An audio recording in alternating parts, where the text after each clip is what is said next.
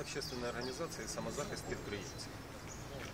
Андрей, расскажите нам, пожалуйста, какое мероприятие происходило сегодня? Вы участники? Какие ваши функции? Дело в том, что все члены организации Днепродзержинского крыла организации «Самозахист предприятий» являются реальными работающими частными предпринимателями, которые э, в городе Днепродзержинске владеют своим недвижимым имуществом. Значит, э, помочь милиции пришла нам, э, эта общая идея помочь милиции пришла в те сложные времена, когда, скажем так, закончились кровавые события на Майдане и э, волна народного возмущения перехлестнулась в регион.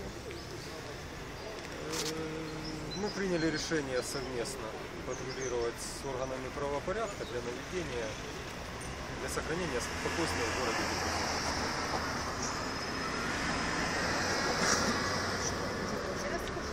Э, Конкретно мы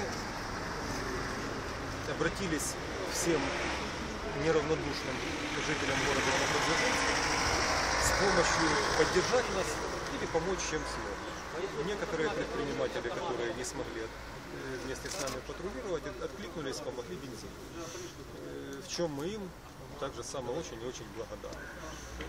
Э, Кроме того, определенное количество людей смогло выехать на своем автотранспорте, в принципе, так же само, как и помочь нам разбавить э, вот эти вот сложные времена дежурства, потому что в первые времена, в первые дни выезжало патрулировать э, улицы города до четырех экипажей, и мы дежурили, получается, ночь через ночь. Это было весьма и весьма тяжело, но тем не менее некоторые днепродзержинцы влились в наши ряды и помогли нам с этим в этом вопросе.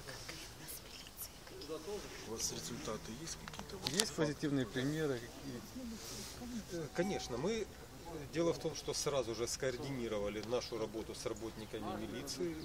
Мы получали каждый вечер, вернее, мы давали свои координаты, координаты тех людей, мобильные телефоны, номера автотранспортных средств.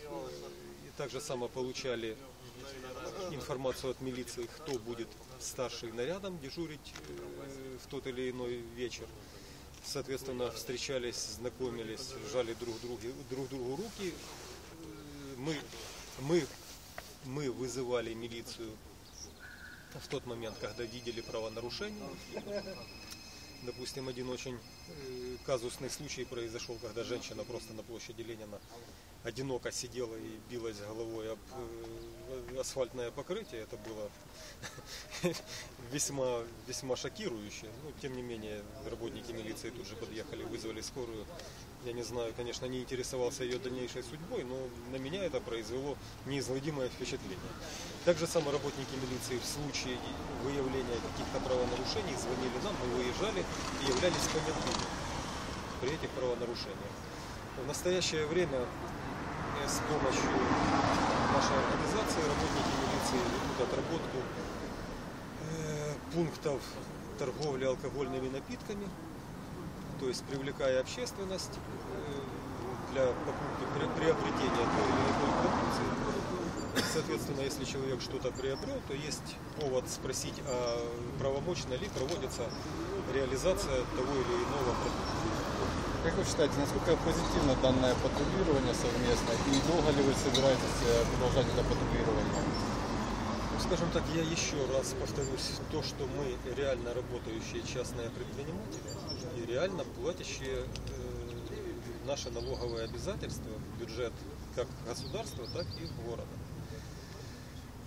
Те, скажем так, объекты торговли или объекты ведения какой-то деятельности, которые не э, ведут свою деятельность не, соотве- не в соответствии с законодательством, то я не думаю, что эти могут считаться частными предпринимателями. Поэтому выявление недобросовестных налогоплательщиков также само, скажем так, является одной из наших прямых функций. По одной простой причине, что на сегодняшний день нынешнее правительство анонсировало поднятие налогового пресса. То есть мы будем от этого страдать. Наша позиция такая. Ребята, выведите, пожалуйста, все объекты, на которых ведется деятельность, из тени, а потом давайте сядем и посмотрим. Возможно, налоговую еще выведите экономику с тени, а потом посчитайте экономический эффект от от этих действий. А как жители Днепродзержинска реагируют э, на ваше совместное с сотрудниками милиции?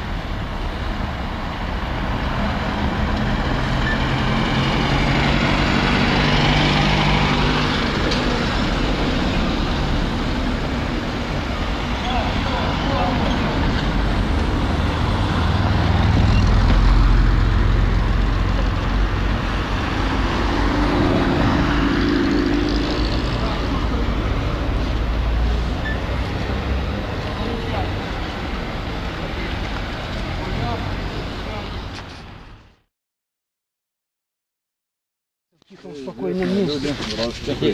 В тихом, спокойном месте находиться, понимаешь? Они, они там, где хреново. А, вы в этом плане? Ну. Вот в этом. А у меня ярость это то, понимаешь, как говорится, я каждый день смотрю, когда моя, извини, женщина стоит возле телевизора на расстоянии полутора метра. Ой, взяли СБУ, ой, взяли то. Я извиняюсь, вроде малолеток же. Что это, блядь, за СБУ, которая ухитрилась пустить туда какую-то... Потому что там какую-то шваль. Вы знаете, э, вы же последние новости знаете? Я Ну, прошу прощения, вы последние новости знаете? Да ну их нахер эти Вот я скажу, э, Турчинов объявил э, анти... Ну, террористический. антитеррористическую акцию. Сейчас со всех областей служатся МВД, служатся все туда, именно в Харьковскую, Луган, Харьковскую тройку. Вот только ты вот трубку положил в Харькове. Харьков спокойно. вот всё. Но они не знают. Мы Они звонили, не говорят, знают, мы не в ничего курсе нет вообще. вообще, ничего. Ребята, ну вы рассчитывайте на нашу помощь. Мне 64, ну извините, у меня ума не Я вам скажу, вот тут не дур. Сделать то, что нужно. Главное вот, чтобы было. А я- а я Вот насчет поэтому, ума, между поэтому, прочим. ж вам, поэтому вам и не говорится о том, что э, вас не привыкать. Уже- Совет всегда Уже нужен. осточертело, все уже. Тем более уже Правильно? А- Остахирело то, когда лазят, знаешь фамилии, когда оно, зараза, ведет Значит, вражескую я пропаганду, объясню. а я ничего не могу сделать. самое, То же самое, смотрите. Зачем говорить, зачем политику брать? Мы сейчас знаем, что в городе делается, да, кто это делает. Мы не можем всегда, ну вот Романский да, делает, я сейчас воюю с ними со всеми. Ну, не можем ничего делать. Почему? Потому что если мы взяли делать все в законном порядке, мы должны это проводить, мы должны это показать, то, что это будет в законном порядке. Если я сейчас буду действовать его методом, так кто же я тогда такой? Я же такой же самый, как он, ну там. Саша, да, в общем-то, это звучит довольно красиво. Нет, и казалось бы красиво, это правильно. действительно так. Но, опять, мне просто приятно, говорится, что я единомышленников увидел, и, извини, что говорится так. Да я не Просто разобрался. я заведенный уже шел, до такой степени заведенный шел, что уже дальше некуда было. Но уже дошло до того, что прихожу, извините, в гараж, стоит старый козел. Сторож, который, понимаете? И он, зараза, начинает это самое.